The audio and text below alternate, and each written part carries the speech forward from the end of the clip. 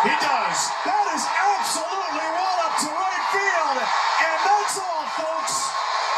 Rougned Odor, his third career walk-off home run. Anthony's got the Gatorade bucket ready for him tonight. Back-to-back walk-off homers.